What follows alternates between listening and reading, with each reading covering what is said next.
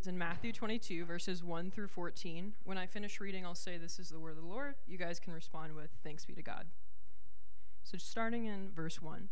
And again, Jesus spoke to them in parables, saying, The kingdom of heaven may be compared to a king who gave a wedding feast for his son, and sent his servants to call those who were invited to the wedding feast, but they would not come.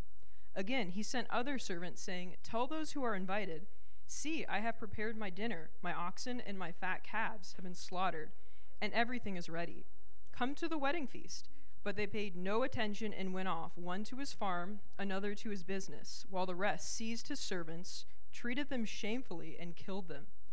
The king was angry, and he sent his troops and destroyed those murderers and burned their city.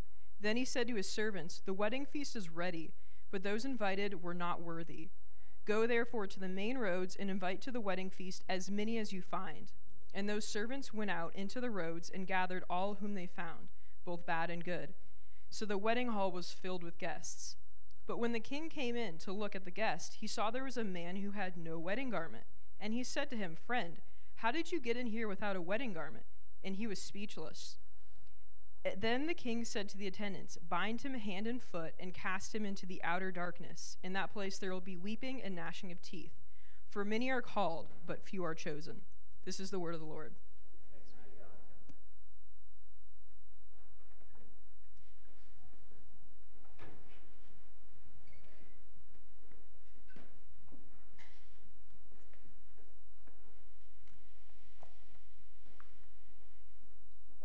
Well, good morning, everyone. Welcome to New King. We're thrilled that you're here today. This is an interesting parable. Oh, yes, if anybody uh, doesn't have a Bible, Celestin is in the back. Put your hand up. We'll give you a Bible. I'm going to turn to a whole bunch of verses today in this one section in Matthew, and it might be helpful if you had a Bible. So if you want one, she will deliver you one. Young lady down in the front here, in the front, yes? she doesn't have a Bible. Ben, get her a Bible. All right. So, what do you think of this parable if you heard it read? Um, maybe you're not so glad to be here when you hear this parable about this, about this king that gets so mad that he goes and he, he burns a city and kills everybody in it. You might say, I, I, I don't want a kingdom like that. What about at the end when, when he, he sees this person at the wedding feast without the proper, proper attire? And he gets mad and, and throws this guy into, into utter darkness. If you're a Christian, I bet there's a time in your life when you read this and were like, oh my word, I'm scared. It caused you terror, it caused you to be afraid. I know I've been afraid of that a few times in my life. It's like, oh my, is the Lord going to look down at me one day and say, I never knew you? Depart from me. Ever had those thoughts? Well, today, what I hope to do is look at this parable in context and show you a couple of things about it. So let's pray, and then we'll jump right into it. Uh, Father God, help us this morning to understand this parable. Father, help me by your Holy Spirit to speak clearly, to not be nervous, but to speak and teach the Word of God to the glory of Jesus. I pray this in Jesus' name. Amen. Now, as many of you know, um, my career in the secular world was in aerospace. I was a systems engineer. And what a systems engineer does for a living is he looks at the bigger parts of the airplane and designs them, whole systems that do things. And almost every engineer um, loves to go down into the detail. And that's a really good thing if you're flying an aircraft. You want to make sure that someone's in the detail. But part of my job was to help people to lift up their heads and see the bigger picture. For, for instance, we used to design systems for uh, landing gear, to, to extend landing gear and to retract landing gear. And people would be down in the details, and I would always bring them back and say, Do you remember what we do? Do you remember why it's important? and people's eyes would open up. say, oh, yeah, we do that on the airplane. That's really cool. What I am going to attempt today is something that no man has ever done before in the history of the New Testament. I am going to attempt to give you an overview of a couple of chapters so that you understand the context, you understand the big picture. The details are important, and I'm going to show you some details. But what I'm going to do is weave together for you a tapestry of Scripture. And you're going to see the threads and how they connect in a way that you may not have seen before. And the whole purpose of it will help you understand what this parable is about. So that's what I'm going to attempt. Are you with me on that? Will you help me? Will you stay awake? Will you, will you follow along? Will you not go to sleep, Ben? I mean, he's usually right out. I mean, he's just out. Yeah, I know, right? He's, he's old and he's tired and he's sick. So here's what we're going to do. If you have a Bible, turn over to, to Matthew's Gospel, the very beginning, chapter 21. And that begins a whole new section in Matthew. It's called the triumphal entry. Jesus comes in. Where does he come into? He comes into Jerusalem. He comes up to the Temple Mount. And, and what happens in those first 11 verses? If you notice, if you have an ESV, that's the subject of the first uh, uh, 11 verses the triumphal entry, where Jesus comes in. And I want to just point out two things about that that are significant to, to, to my talk here this morning. Two things. The crowds shout. You remember? The crowds shout, Hosanna. Hosanna, it says, to the Son of David. Blessed is he who comes in the name of the Lord. Hosanna in the highest. Now, Hosanna means save us. Save us, O Son of David. Save us, O Son of David. And it's a quote from Psalm 118 Save us. So notice that. They cry that out. And then as things progress, um, um, the whole city was stirred up, it says in verse 10. Who, who is this guy? Who is this? And the crowds respond. And what do they call Jesus? A prophet. Do you ever notice that before? This is the prophet Jesus from Galilee, from Nazareth. A prophet. So, so Jesus comes and they say, This is the prophet. What I want to show, the, show you this morning is Jesus comes throughout this whole section in the character of a prophet. Now, what does a prophet do? What does a prophet do for a living? What's his job description? We often immediately say, oh, he tells the future. A prophet prophesies, he tells the future. Not quite right. Yes, that's part of it. The main role of a prophet is to call out the heart of God's people. To call them out. When you read Isaiah, the first thing Isaiah does is call out the heart of God's people. When you read Jeremiah, the first thing you read is he calls out the heart. The people are far from God. And he calls out their heart and he says to them, Repent, turn back, turn back to God's ways, or the future comes. And it's not pretty. That's what all the prophets do. They call out the heart of God's people, they call them out to repent, and then they give them a warning that says, if you don't repent, judgment is coming. That's a prophet. Jesus comes in the character of a prophet. Who is this? It's the prophet Jesus. Okay, you with me on that? You see that, right? The next section. 12 through 17, Jesus cleanses the temple. He cleanses the temple. And uh, we, we read that last week, and Ben preached on that a little bit.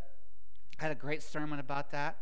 And uh, I want to point out just a couple of things. Um, he throws out the money changers. Verse 13, uh, he said to them, It is written, My house shall be called a house of prayer, but you make it a den of robbers. Den of robbers. Now, when I think of a robber, when I said this in the first service, I don't think anybody got it because no one's as old as me. But when I think of a robber, I think of the old Batman series way back when. And there was always a guy in a leotard with the mask on. He had a little cap on his head, and he had a bag with money. He stole the money, and he was running around. I always think of that. That's what comes to mind when I think robber. That's not what this is. That's not what this is at all. In fact, the Greek word means someone who's an insurrectionist. An insurrection. What's an insurrectionist? An insurrectionist is a person that is a mutineer, an insurgent, someone taking part in the overthrow of authority. And Jesus says, You've made this holy place a den of robbers, a den for robbers. So, what does that mean? This comes, as Ben taught us last week, from Isaiah chapter 7. And Isaiah is, guess what? A prophet. You guys all got it. Very good. You're paying attention. A prophet. And back in that chapter, which Isaiah 7, it starts out and it says to the religious leaders, God says to the religious leaders, you cry out, the temple, the temple, the temple. And then you go and you do whatever you want. You go against my laws. You have idols. You, you, you spiritual adulterers, is what you are. And then you come running back to the temple and say, Oh, we have the temple. We're, we're covered. We're set. That's our refuge. We go into God's house and everything's good, but we do what we want. A den of robbers. So keep that in mind a den of robbers. That's the first thing. And how does Jesus cleanse the temple? Yeah, he throws out the money changers, but also notice the second part of his cleansing. Verse 14 And the blind and the lame came to him in the temple, and he healed them. See, the blind and the lame were not allowed to come into God's presence, they didn't measure up. They were the outcasts, they were the ones that were outside. And what does Jesus do? He cleanses them. And now they have access into the very presence of God in a way they never had before. Do you think that might be significant in where this story is going? Just, just think about that. Third thing the religious leaders are indignant. Notice what it says in verse uh, 15. When the chief priests and the scribes saw the wonderful things that he did, and the children crying out of the temple, quoting from Isaiah, Hosanna to the Son of, of David, they were indignant. They were mad. They were angry. They didn't like it. There was this feeling of, who does he think he is? This is our den. This is our man cave. This is where we hang out. What is he doing bringing those people in here? They were indignant. See the picture. In the morning, the next section, verse 18, Jesus curses the fig tree. And that's a really weird section. He comes upon, upon this fig tree, and it's all leaves all over it. And Jesus looks for fruit, and there is none. There's only leaves. And the next thing you know, it's withered up and it's dead. What on earth is that about? How does that fit in here at all? Verse 19 Seeing a fig tree by the wayside, he went to it and found nothing on it but only leaves. And he said to it, May no fruit ever come from you again. And the fig tree withered up at once. He looked for something, fruit, it wasn't there, and judgment came. Yeah, he judged the fig tree. And then what happens? Then Jesus goes off into this almost completely different subject. He starts talking about mountains and prayer and mountains being thrown into the sea. But is it mountains he's talking about, or is it a mountain? So when you read it, Jesus responds to all this, and they, the disciples say, What's up with the fig tree? What are you doing here? Verse 21 Jesus answered them, and truly I say to you, if you have faith and do not doubt, you will not only do what has been done to the fig tree, but even if you say to this mountain, this mountain, be taken up and thrown into the sea. It will happen. And that talks about prayer and faith. What's Jesus getting at here? This mountain, this holy mountain, this temple mountain will be judged. And do you know that that's what the next three or four chapters are all about? The judgment against the Jewish leaders and the Temple Mountain itself. Not many years after, the Roman general Titus will come marching into Jerusalem and attack the city and overrun it and burn it to the ground. This mountain will be cast into the sea. And what does the sea mean? What does Jesus mean by the sea? Why the sea? If you're an Old Testament scholar and you read your Bibles, you will find that in the Old Testament, the sea stands for two things chaos and the nations. So, chaos. You often see the, the, the, Israeli people, the Jewish people, they were not mariners, really. They didn't like the water. They, they, they didn't really like it. And it was something that was chaotic and something to be afraid of. And they talked about the monsters of the deep, Leviathan, and all this stuff comes out. Rahab, the monster. So it was something that was very chaotic and something to be, to be afraid of. But it also meant the nations. The sea almost, almost always means the nations as well. So, things in Jerusalem, the Temple Mount, will be cast into the sea. Their Jewish faith, the way that they practiced it, would be cast out. And God is then going to go to the nations. You see that little hint there? And it's going to come out more and more as we go along. Jesus is just hinting at these things. But when we read it in context, we start to see it. So the fig tree. Now, the next section the authority of Jesus is challenged. Verse 23 through 27. When he entered the temple, the chief priests and the elders of the people came up to him as he was teaching and said, Who do you think you are? By what authority do you teach? By what authority are you doing these things? Who gave you this authority? Who do you think you are taking over our den?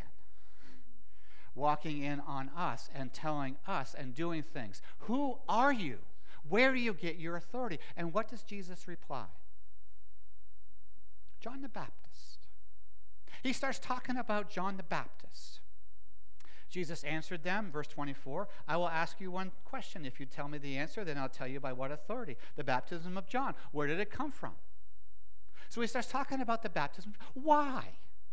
Why the baptism of John? What on earth could Jesus be talking about? Why didn't he talk about Isaiah? Why didn't he talk about Jeremiah? Why didn't he talk about Ezekiel? Why didn't he talk about Daniel? Why John the Baptist? So, as good Bible scholars, you immediately say, let me go back and have a quick look at the baptism of John and see if I can get a hint about why Jesus brings up this. So hold your finger there and go back to Matthew chapter 3, where we have John the baptizer baptizing in the wilderness. John chapter 3, verse 7. John was down in the Jordan and, baptizing people. Verse 7 And when he saw many of the Pharisees and Sadducees, Sadducees coming to his baptism. So it's the religious leaders again. It's the same group of people, the exact same group of people. And what does John the Baptist say to these religious leaders when they come? Oh, come on in, the water's nice. Let me have let me get you a cappuccino and I'll get you a nice towel. No. He says to them, You brood of vipers, doesn't he? Did you read it there?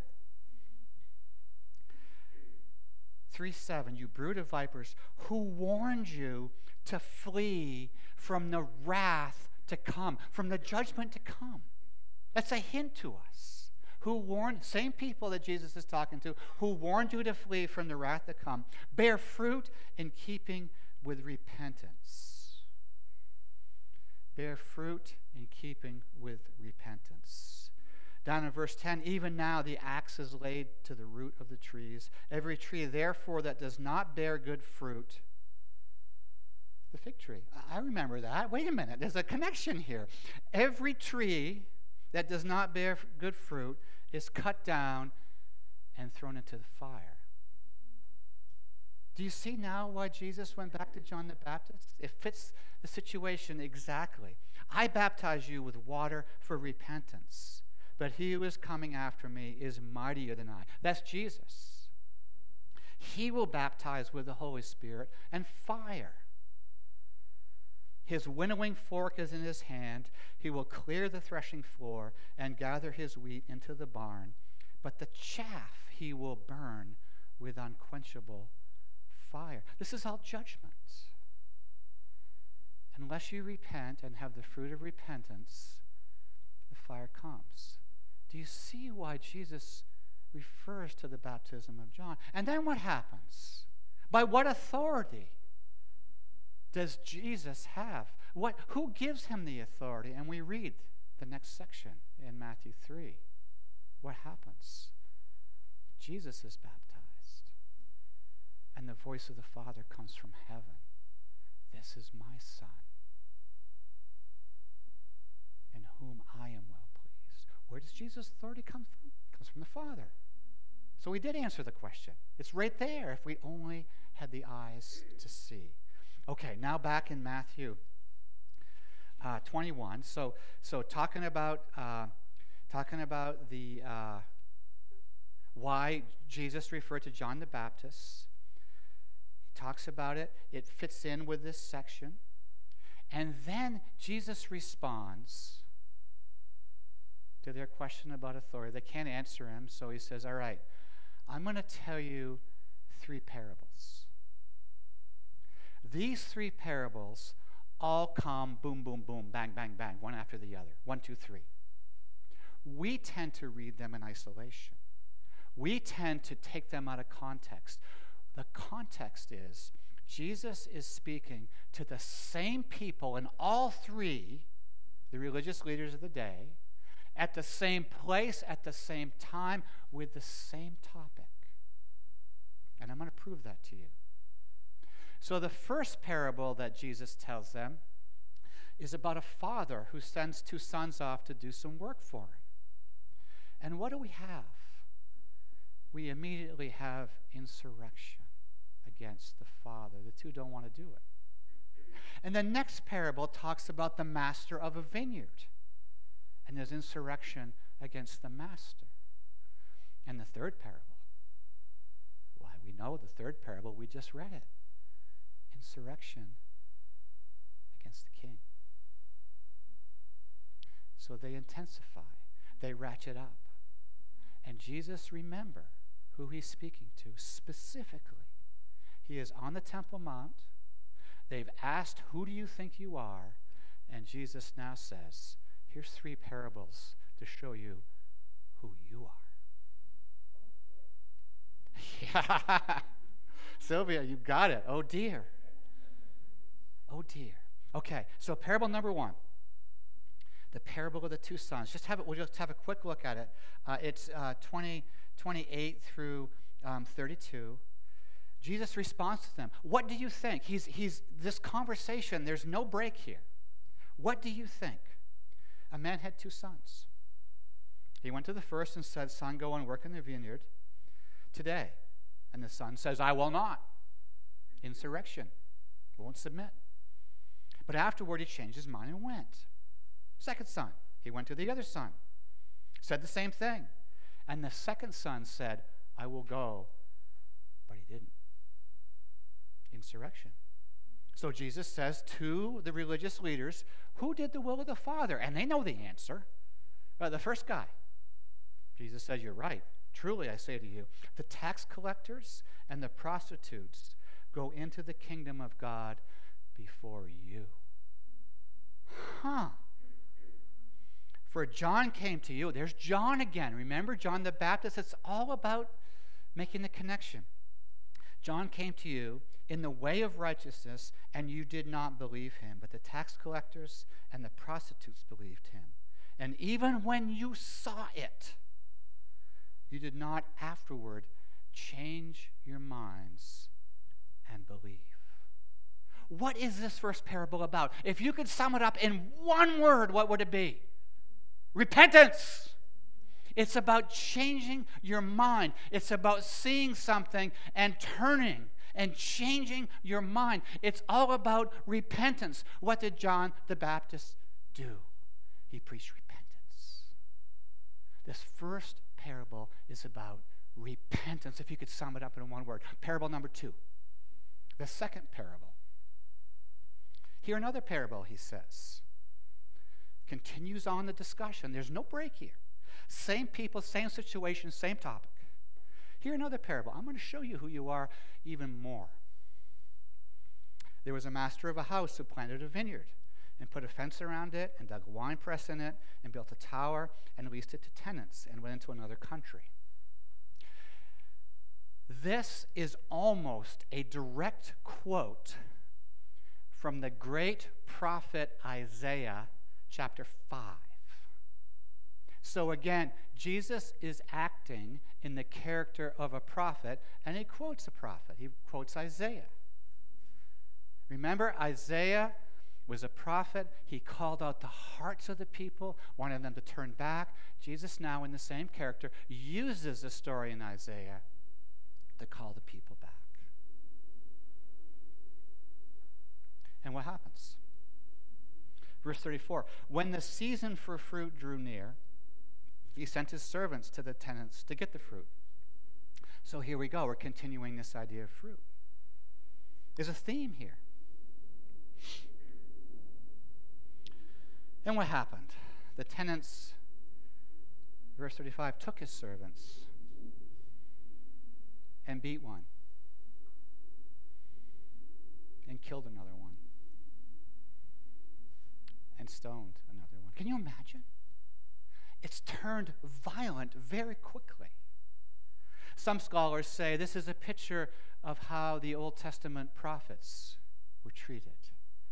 They were killed, they were stoned, they were beaten, they were sawn asunder the messages of God were treated terribly. So some people say this, this is Jesus telling a parable about the history of the Old Testament. But the master persists. Again, verse 36 He sent other servants more than the first, and they did the same. What is this master to do? What can I do? I know what I'll do. I'll send my son. They'll respect my son. My son comes in my name, he represents me. And what do they do? They kill him. Now, you know what that speaks of. I don't have to tell you. Come, let us kill him and have his inheritance. And they took him and they threw him out of the vineyard and they killed him. What should the master of the vineyard do? Jesus asks. This reminds us of another story in the Old Testament. You remember David, King David? David committed murder and adultery. And what did God do? he sent Nathan the prophet to David. And Nathan the prophet comes in and he says, King David, let me tell you a little parable about a man with a little lamb.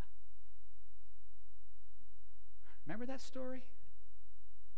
Jesus comes as a prophet here too and tells a little parable. And then at the end of it, the little lamb is taken from this man. And Nathan says to David, What should happen? And David says, Give me this man, string him up, off with his head. And what happens here? The exact same thing. Jesus comes in the character of Nathan the prophet, tells a parable to speak to their heart, and they don't quite get it yet. They say, Off with his head. Verse 41 He will put those wretches to a miserable death and let out the vineyard to other tenants who will give him fruits in their seasons. And what does Jesus say? Remember what Nathan said back in the Old Testament? You are the man, O King David. And David's heart was cut to the quick, and he fell down prostrate. Jesus said to them, Have you never read the scriptures? The stone that the builders rejected has become the cornerstone. This was the Lord's doing, and it is marvelous, and it is marvelous in our eyes. Therefore I tell you, the kingdom of God will be taken away from you and given to a people producing its fruits. The one who falls on this stone will be broken to pieces when it falls on him, it will crush him. Judgment. What is this parable about? If you could sum it up in one word, if the first was repentance, the second parable is fruit. What did John the Baptist preach? Repentance and the fruit that accompanies it, accompanies it. What are these first two parables about? Repentance and fruit. Do you see the connection? Do you see the threads here that are being laid out by Matthew? They all connect. And now we finally, at long last, come to the parable we have before us today the parable of the king that throws a wedding banquet for his son. After that, this whole thing continues. Jesus deals with three questions that were pertinent to the day. What should we do about an intolerable government that makes us pay taxes that we can't pay? What, what do we do? What do we do about, about the future, the resurrection? What do we do about, about God's word and the law? How do we deal with that? Jesus answers all three. And then chapter 23 comes up, and in the character of a prophet, Jesus pronounces seven woes upon the religious leaders. And then you have chapters 24 and 25. What is that about? it's Jesus in the character of a prophet predicting the judgment that's going to come on Jerusalem in AD 70 when the city will be destroyed and the Lord will come. You see, it all connects in. It's all the same topic, and then it ends, and Jesus comes off the Temple Mount, and it's over. But it's all one story. And you and I miss it when we take a verse or two here and there. Okay, so now we come, finally, yes, truly, to the wedding feast. What is that about? There's three parts there's the initial invitation, then the replacements are brought in, and then this whole deal about the inappropriate wedding garment. So, verses 1 through 7, the initial invitation. And again, Jesus spoke to them, 22 verse 1, in parables, saying, The kingdom of heaven may be compared to a king who gave a wedding feast for his son and sent his servants to call those who were invited to the wedding feast, but they would not so, the setting for this parable is a countrywide celebration for the king's son's marriage. People are invited. It is a countrywide celebration that will probably go on for several days, as was the custom back then. And the king has sent out invitations probably to the more prominent people in the area. Right? We're going to see that he at first probably didn't invite everybody, but he sent out the invitations. And uh, it says that in verse 2, um, verse 3, he sent his servants to call those who were invited to the wedding feast, but they would not come. So, what happened in those days was, was a, a, a, an invitation went out and you knew about it well in advance. And then on the day, the call went out come now. You've been invited, come. Come to my wedding feast. My son is getting married. It is a time of glorious joy and celebration. Come. But they would not. And the king persists once again. Verse 4. He sent other servants, saying, Tell those that are invited, explain to them what's here at my wedding feast. See what I have done. See the preparations that I have made. You will have food beyond measure. You will have the best wine. You will have music. I have prepared my dinner. My oxen, my fat calves have been slaughtered. Everything is ready. Explain to them. Tell them what it's like. It's a party. Come to the wedding feast. And what happens then? Verse 5 But they paid no attention, went off, one to his farm, another to his business. I don't have time for this. I've got a life to lead. I've got the internet to search. I don't have time to be coming to these wedding feasts. I'm not coming. But as before, it quickly turns to violence. It's amazing how quickly. Verse 6 While the rest seized his servants, treated them shamefully, and killed them. Now, just you have to understand in the culture of the day, you did not refuse the king. This was the king we are talking about. This is the ultimate ruler in that land. And they say, We won't come, and we're going to kill the messenger. This is insurrection to the ultimate authority of the day. What on earth should this king do? How should he respond? And we see it, similar to the previous parable. The king was angry, verse 7. He sent his troops and destroyed those murderers and burned their city. At this point in time, the Roman troops, they're coming. It'll be a few decades, but they're coming. The city is going to get burned. It's going to happen. And then what happens? The replacements are brought in. The second string, you might say. Verse 8 Then he said to his servants, The wedding feast is ready, but those invited were not worthy. Go therefore to the main roads. Invite to the wedding feast as many as you find. And those servants went out into the roads and gathered all whom they found, both bad and good. So the wedding hall was filled with guests. The king has his way. The wedding hall is filled.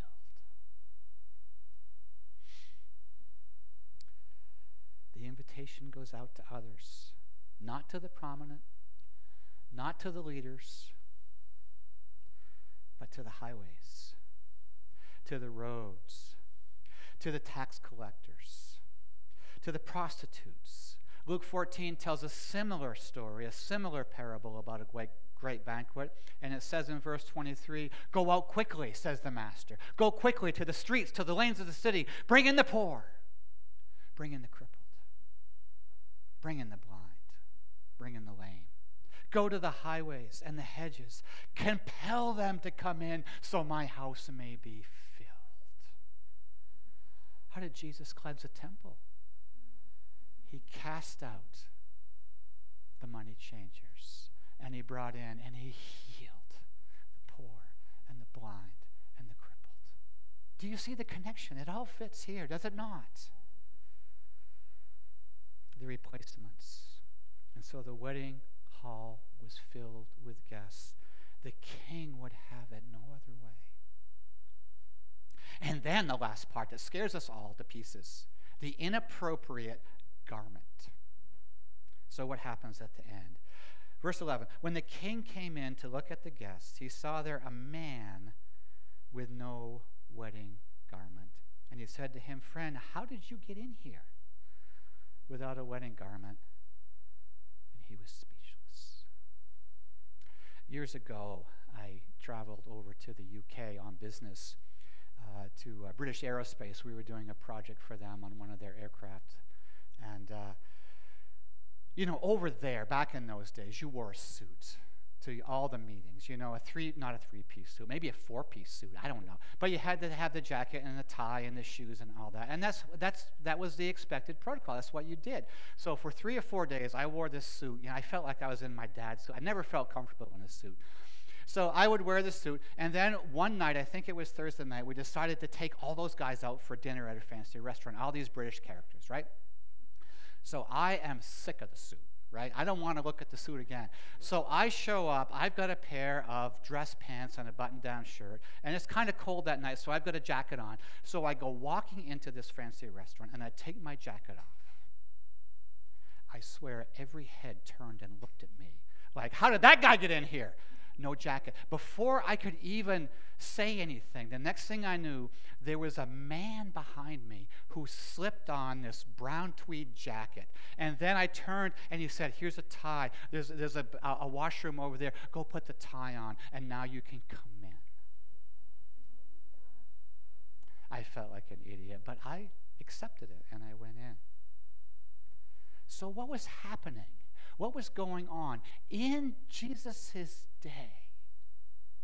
When the king gave a feast, when a rich person gave a feast, he supplied the garments, little dresses, tights.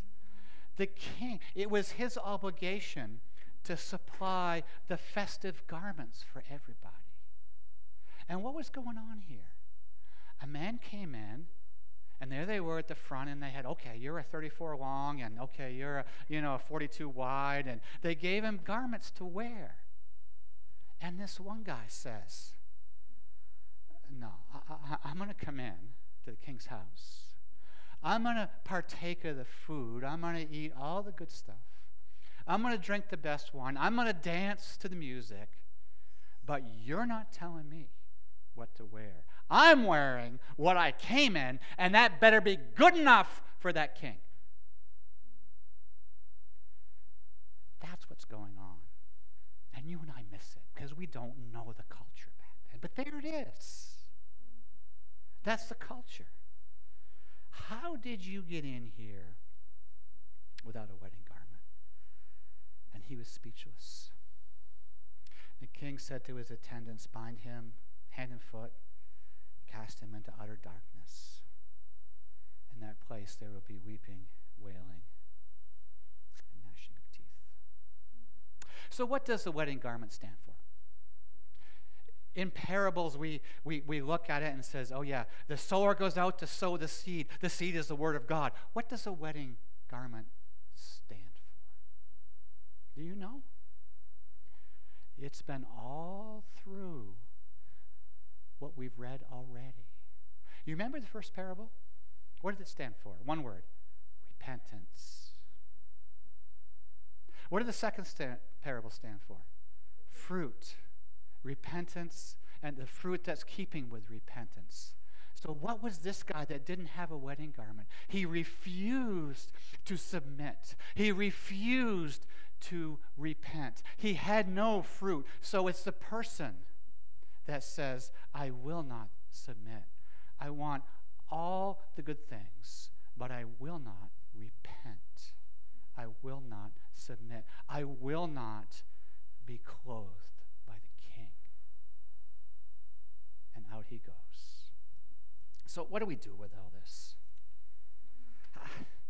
How do we make sense of it? Okay. Three things to conclude us with. Thing number one if you're a Christian, this parable shouldn't cause you terror. If you're a Christian, this parable shouldn't cause you terror. It's spoken specifically to the religious leaders, the insurrectionists who use the temple as their shield, their cover, their den. They refuse to accept the authority of the Father, parable number one. The Master, parable number two. The King, parable number three.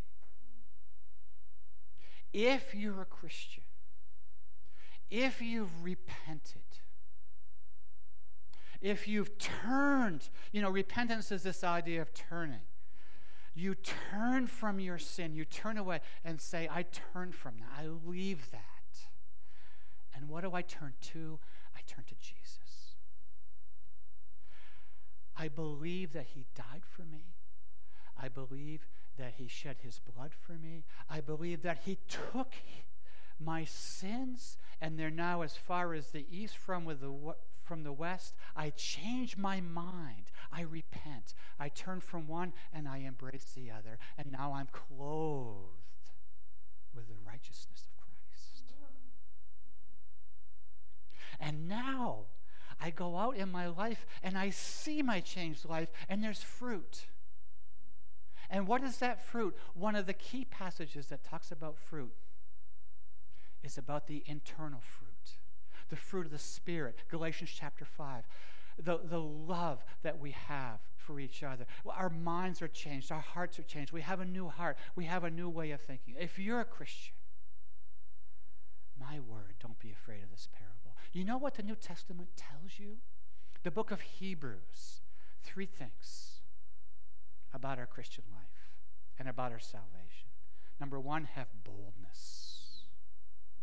Number two, have confidence. Number three, have a clear conscience. So if you're a Christian and you have repented and given your life to Jesus, and you see changes in your life, don't let this parable scare you. It's not about you. However, point two, there is something in Scripture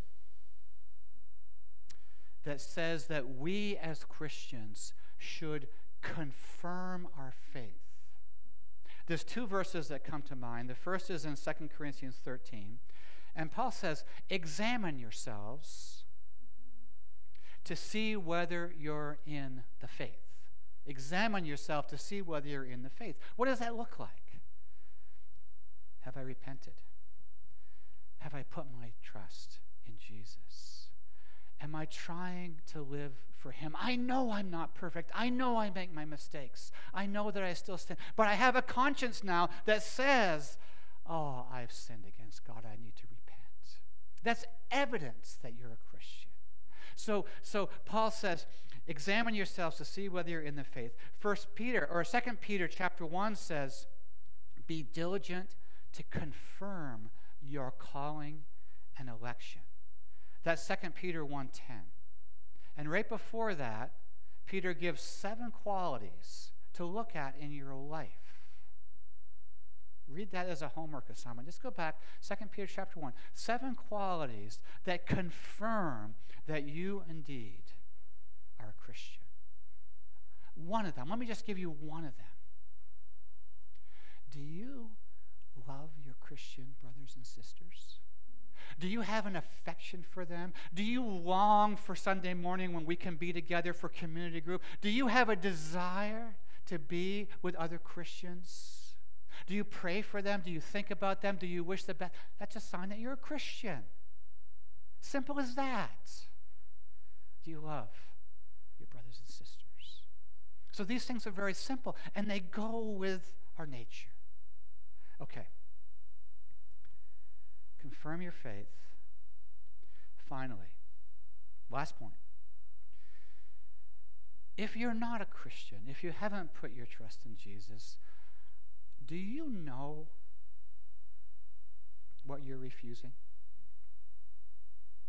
See, when we read the parable, we, we jump right to the end and we get all nerved up about the weeping and the wailing and the gnashing of teeth and the outer darkness. And we forget, we forget so quickly the setting of the parable and how it begins.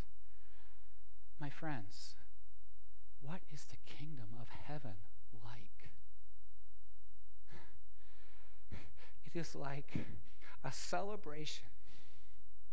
The kingdom of heaven is like a king who gave a wedding feast for his son God will have a feast.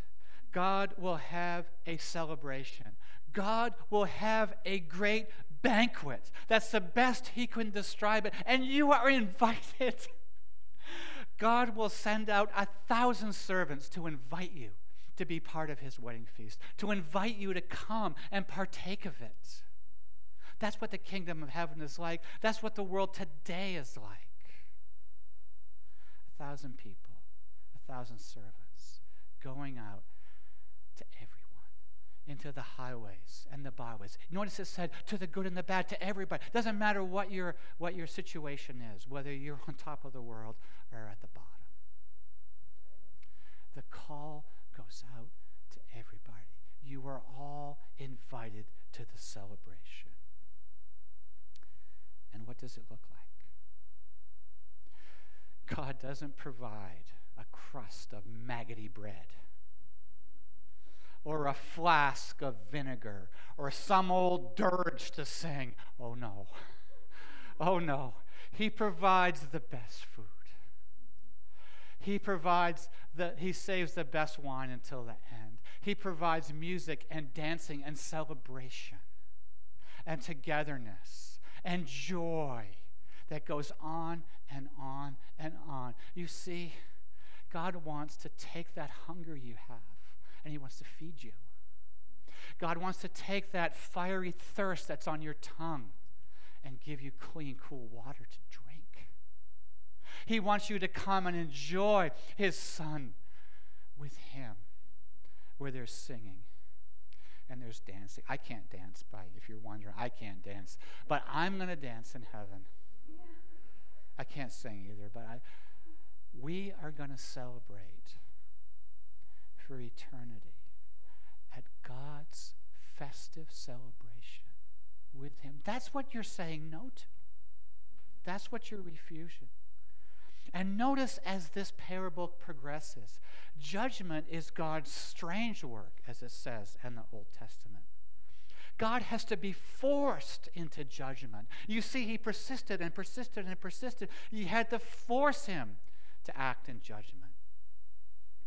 He comes in love with invitation to a feast, and we repeatedly insult his offer. We pay no attention, we refuse, we react violently, we mock and we taunt and we break every law, and ultimately spit in his face and say, No, I will not wear that garment.